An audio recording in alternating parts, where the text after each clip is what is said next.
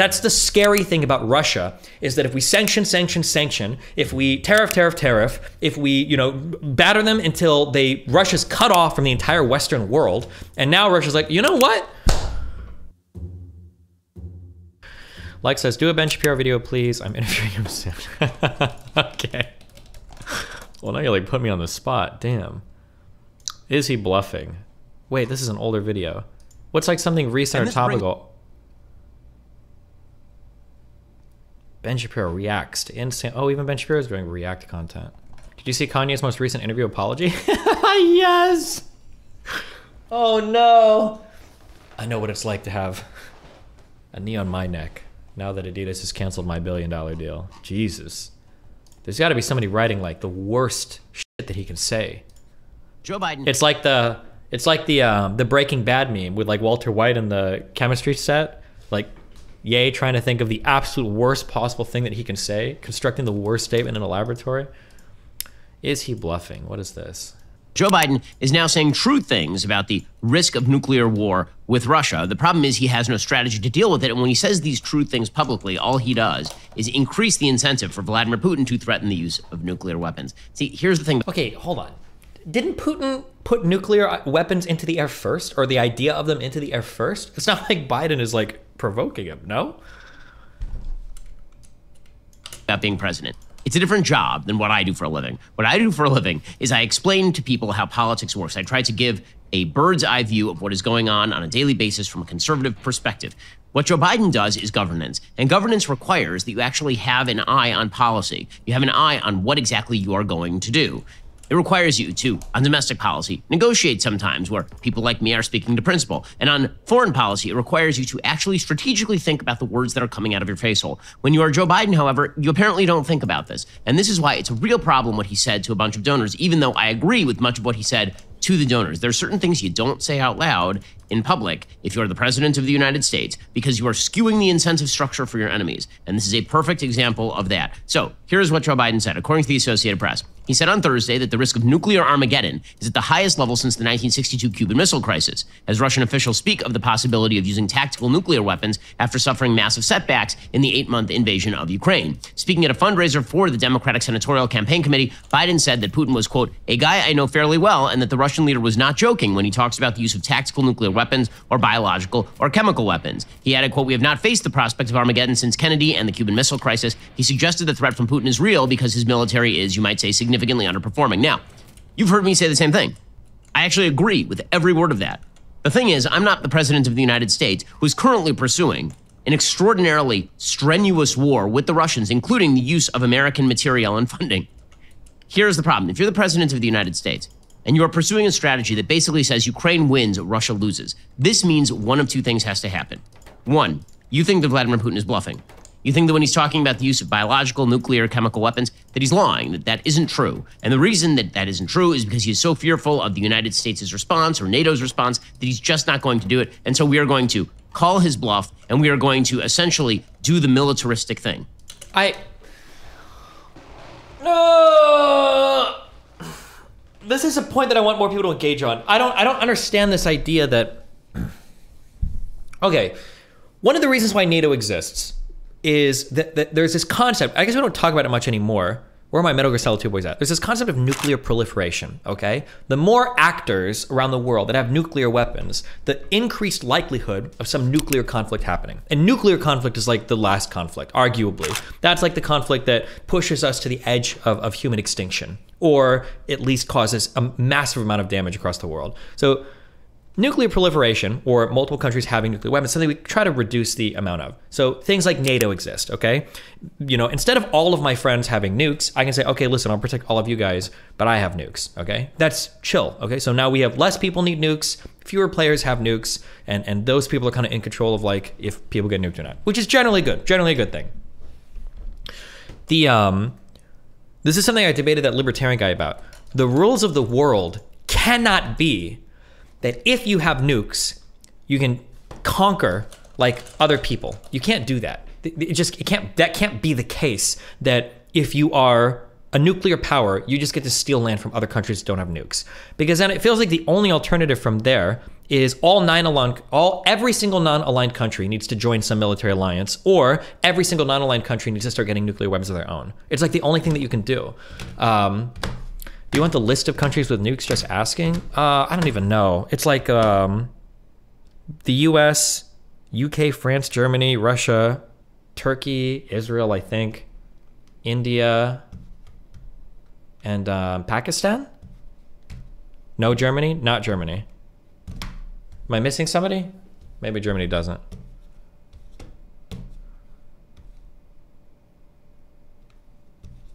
Oh, North Korea, China, North Korea. Um,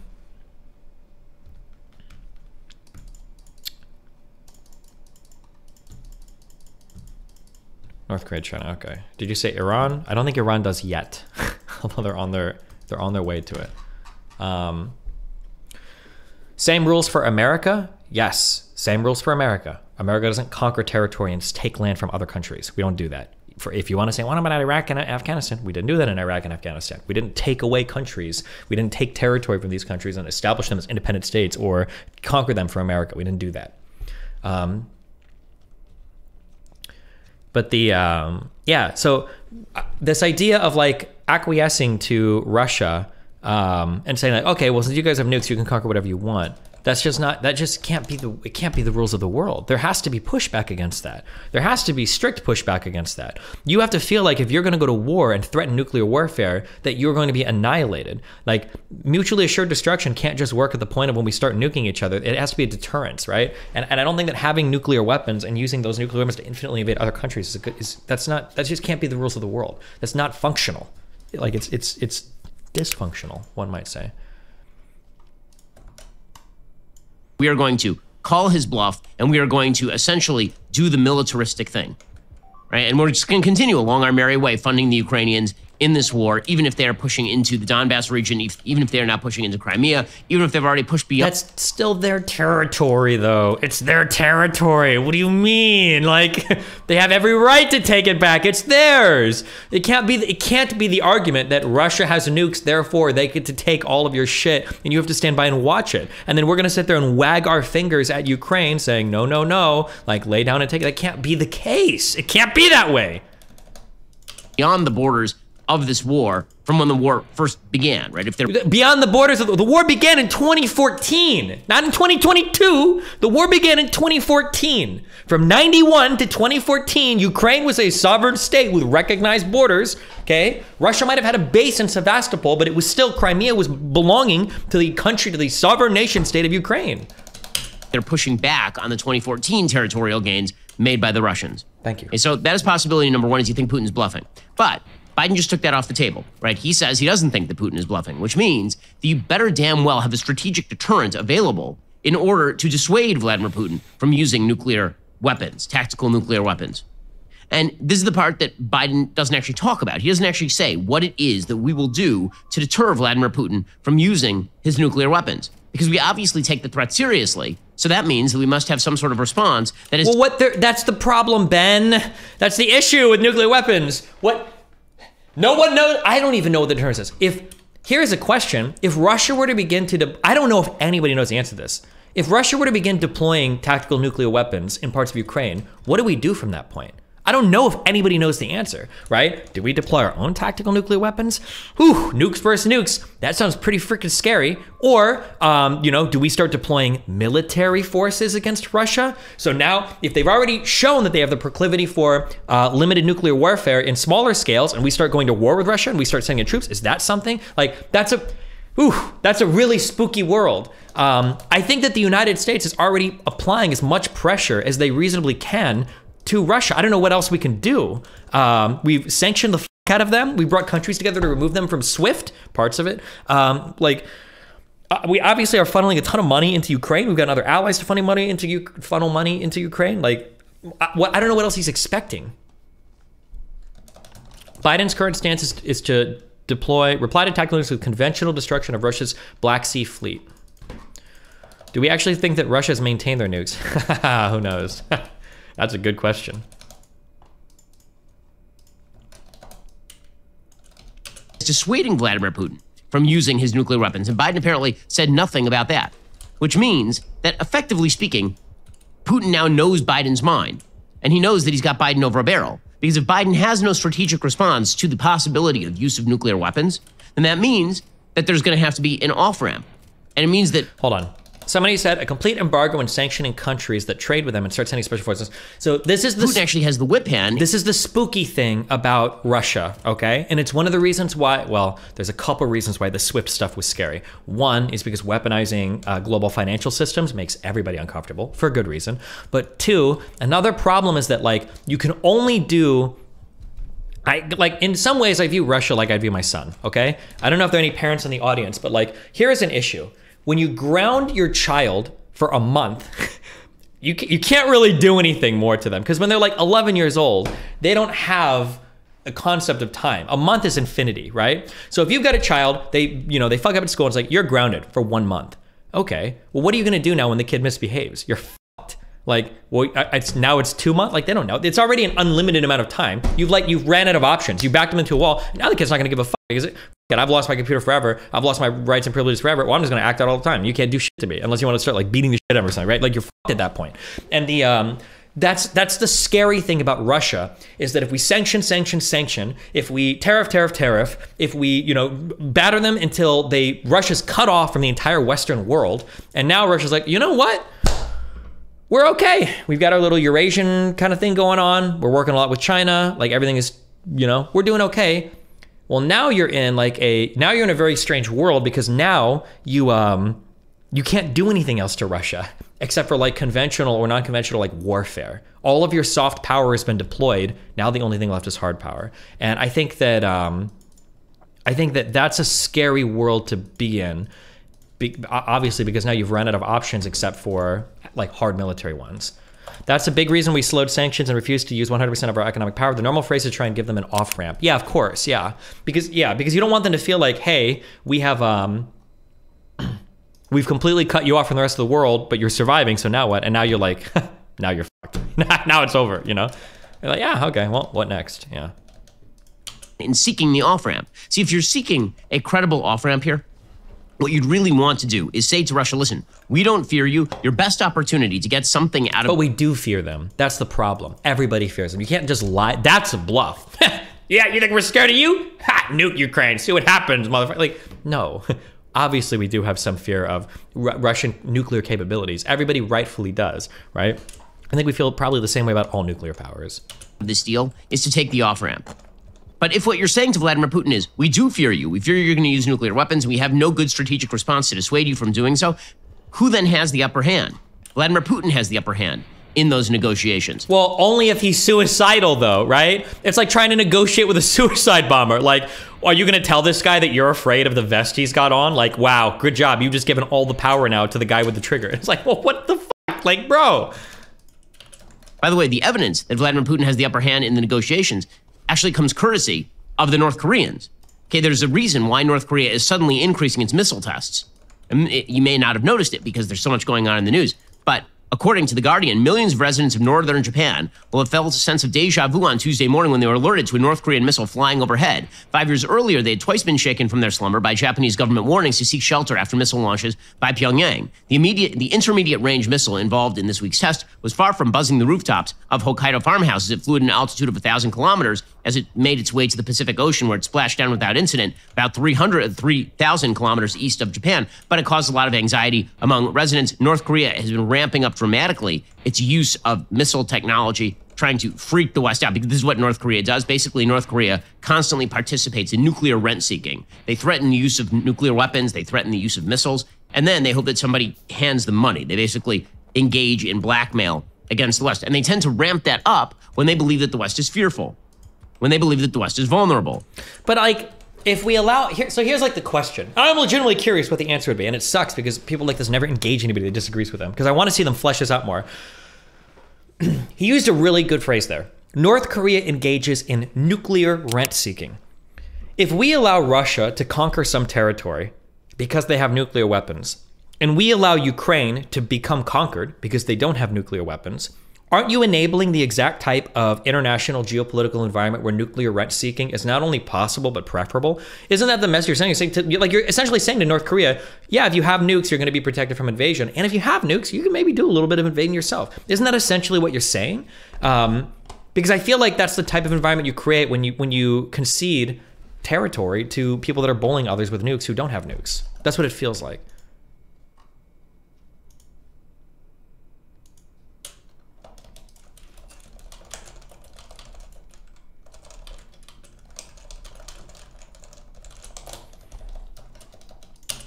And this happens to be that particular time.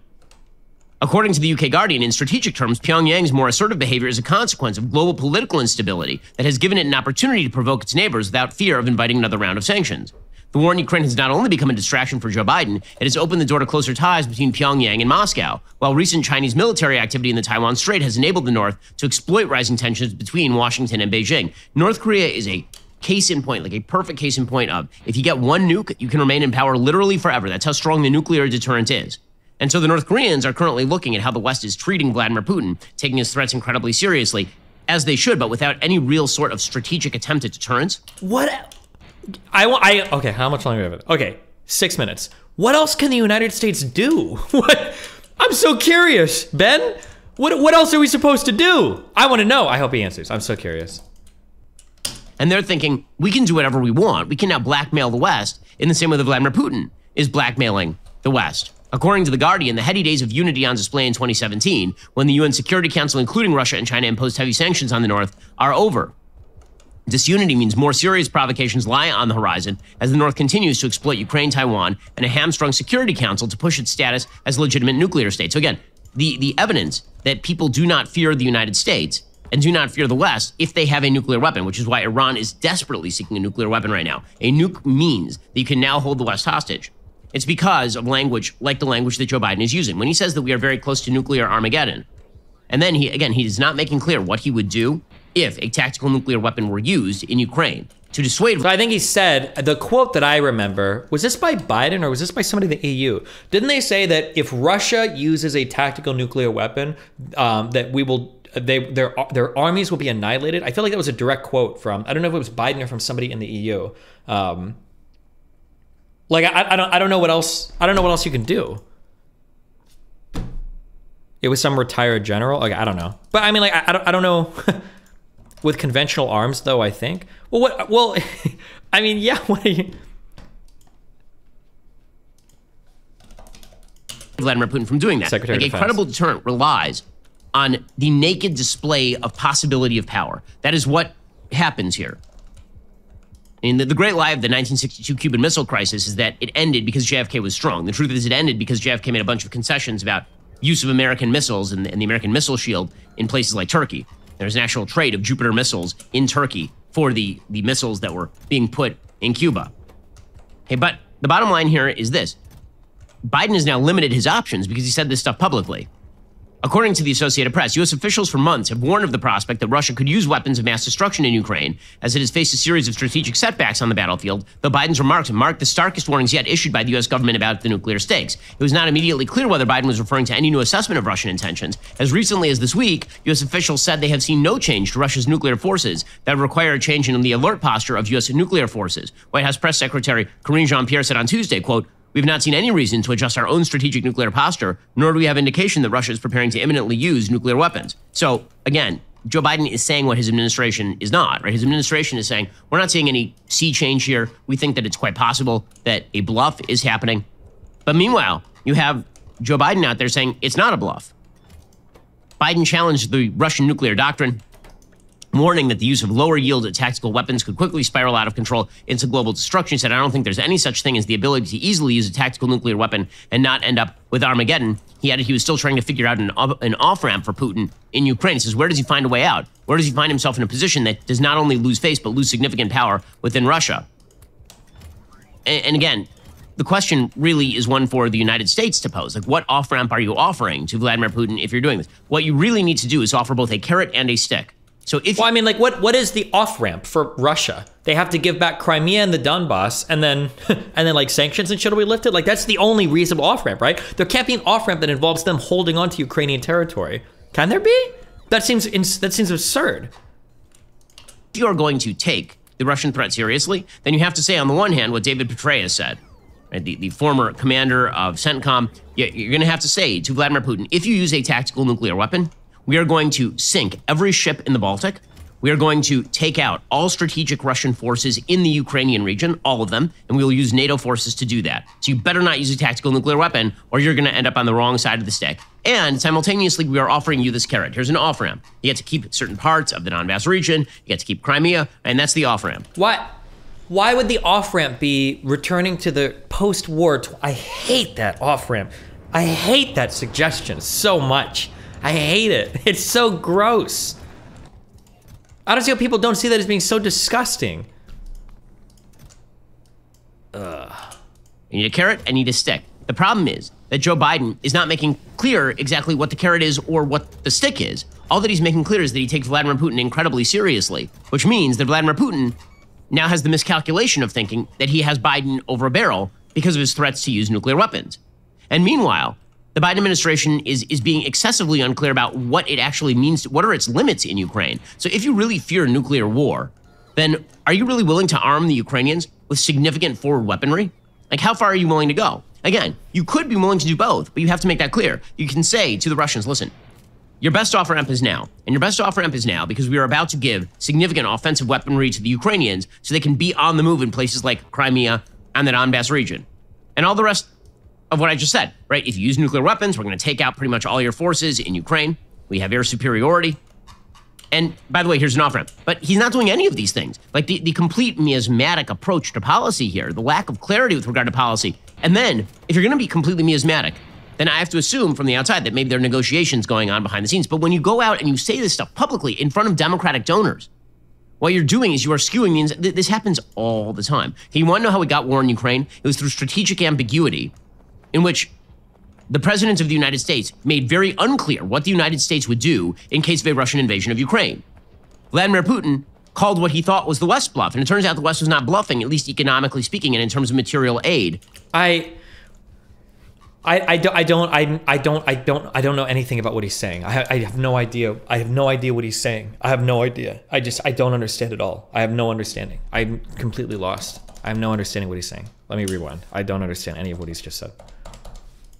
And then, if you're going to be completely miasmatic, then I have to assume from the outside It's like when you it's like when your cookie is too big for your glass of milk and you try to dunk it and it doesn't fit and you blame Obama for it. Like how, how is the United States like are we blaming are we blaming Biden or United States strategic ambiguity for Russian invasion of Crimea? How? That maybe there are negotiations going on behind the scenes. But when you go out and you say this stuff publicly in front of Democratic donors, what you're doing is you are skewing means th- this happens all the time. You want to know how we got war in Ukraine? It was through strategic ambiguity, in which the president of the United States made very unclear what the United States would do in case of a Russian invasion of Ukraine. Vladimir Putin called what he thought was the West bluff, and it turns out the West was not bluffing, at least economically speaking, and in terms of material aid to Ukraine. And this is frequently how wars get started. I've made this point over and over and over before. When you're talking about the, the original Iraqi invasion of Kuwait, there's a lot of suggestion that there was a, an, an American diplomat named April Glaspie who, in negotiations with the Iraqis, basically said, listen, if you guys go into Kuwait, it's going to be hands off. Now, she denies that's the case. There's a lot of Fuck, questions I don't know what she actually said, what I don't know the particulars of this, so I can't push back if he's right or wrong. didn't say. But clearly, Iraq thought that they weren't going to get the response from the West that they got when they went into Kuwait. When World War I broke out, pretty much everybody thought that that was going to be an incredibly short war with small territorial gains made, and then everybody goes back to status quo ante. That's not what happened. Miscalculation is very often what leads to war. Alrighty, folks, we've reached the end of today's show. However, if you are a subscriber, there's much, much more coming up, including Kanye. Okay. There you go, Lex. Ask him what he.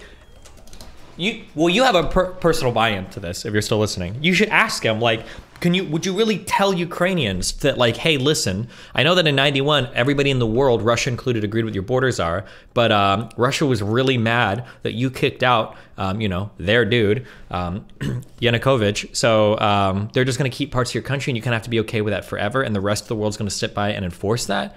That's just an insane. That's just insane to me. That's insanity to me. I, I, I don't I don't get that at all.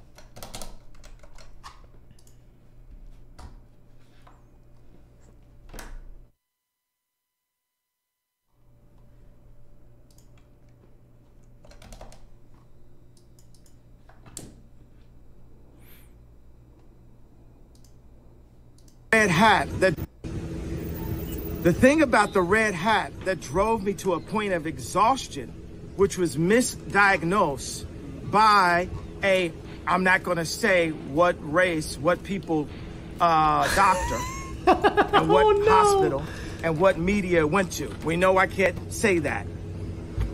It was a Jewish doctor.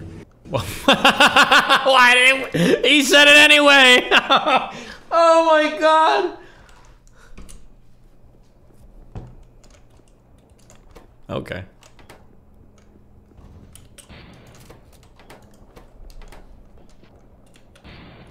Spoiler alert. he says it anyways. Okay.